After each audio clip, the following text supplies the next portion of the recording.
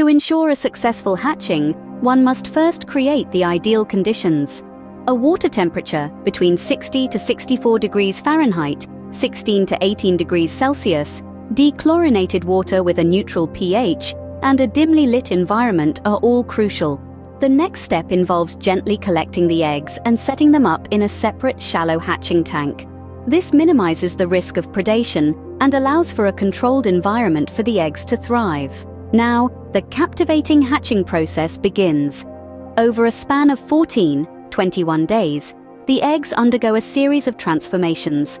They start with cell division, progress to the formation of an embryo, and eventually develop distinct features such as the head, tail, and gills. Just before hatching, the embryos begin to move within their eggs, signaling their readiness to break free. Once hatched, these young axolotls initially feed on their yolk sac. As they grow, their diet should transition to live foods like microworms or newly hatched brine shrimp.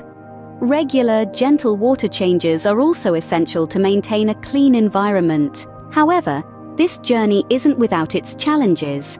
Fungal infections can be a threat to the eggs, and axolotls may resort to cannibalism as they grow.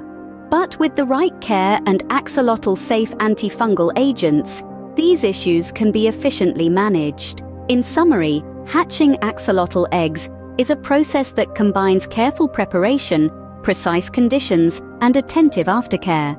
But the reward of observing the enchanting development of these extraordinary amphibians makes it all worthwhile.